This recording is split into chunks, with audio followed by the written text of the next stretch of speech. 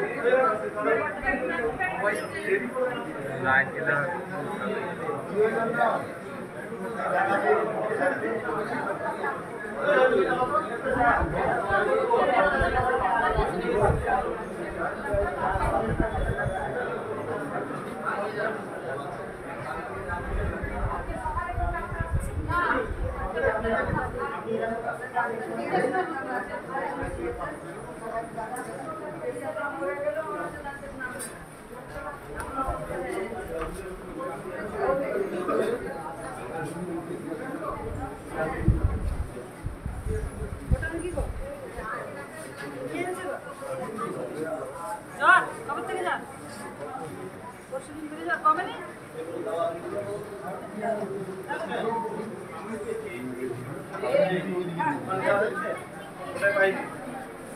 কবে থেকে যান পরশু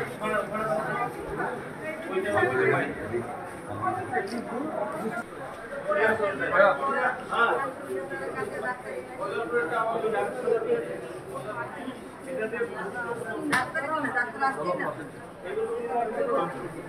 থেকে জ্বর কমেনি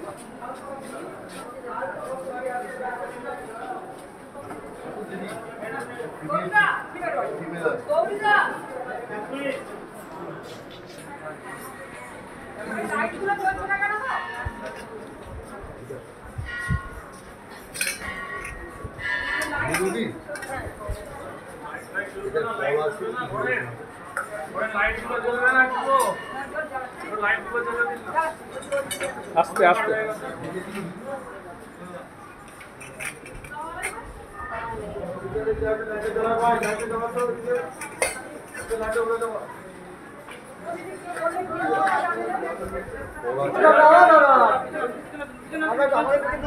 চলুন না করুন না। ঠিক আছে। হয়েছে? করতে দিব না কেন?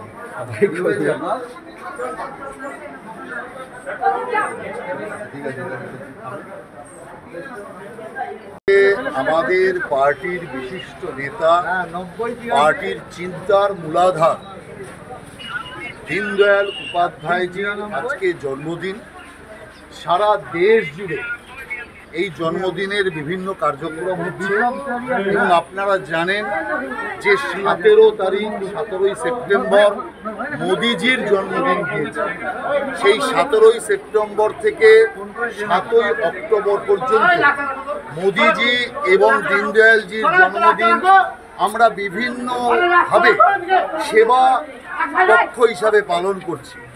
সেই সেবা পক্ষের মধ্যে রক্তদান, অস্ত্রদান পুস্তক দান ফল দান এই রকম সমস্ত কার্যের মধ্যে আমরা করছি। এতে বৃক্ষরোপণ ইত্যাদিও কার্যক্রম আছে। সেই উপলক্ষেই আজকে এই হাসপাতালে তিনশো জন প্রায় রুগীর মধ্যে তিনশো একজন জানলাম ভর্তি আছে। তাদের শিশু, মহিলা এবং পুরুষ সকলকেই ফল দেওয়া হলো এবং মূলত গৌরী ঘোষ আমাদের এখানকার জেলার সভাপতি এবং বিধায়ক, তার উদ্যোগেই আমরা এটা করেছি আমার সাথে মাহফুজা খাতুন, তিনি আছেন, তিনি আমাদের রাজ্যের সহ সভানেত্রী এবং এই উদ্যোগে আমরা আজকে এই ফল বিতরণ করলাম এবং এখান থেকে এরপর আমাদের নিমতিতায় শামশেরগঞ্জে একটি জনসভা আছে আপনি জানেন শামশেরগঞ্জে বিধানসভার উপনির্বাচন চলছে। সেই উপনির্বাচনে জনসভায় আমরা এখান থেকে যাব। বলছি পরিষেবা হাসপাতালের ইয়ে কেমন পরিকাঠামো কেমন দেখলেন? না পরিকাঠামো সীমিত ক্ষমতার মধ্যে মোটামুটি হাসপাতাল কর্তৃপক্ষ চেষ্টা করছে। কিন্তু একটা জিনিস যেটা এখানে লক্ষ্য করলাম যে যদি অস্ত্র না থাকে তো যুদ্ধ হয়। তো অস্ত্র তো দরকার। এখানে যে পরিমাণ রুগীর চাপ, সেই তুলনায় জায়গা নেই। যে পরিমাণ সাধন দরকার, সেই পরিমাণ সাধনের ব্যবস্থা নেই। জল কখনো থাকছে কখনো থাকছে না। এই যে পরিকাঠামোর ব্যবস্থা, সেটা স্বাস্থ্য দপ্তরের করা উচিত।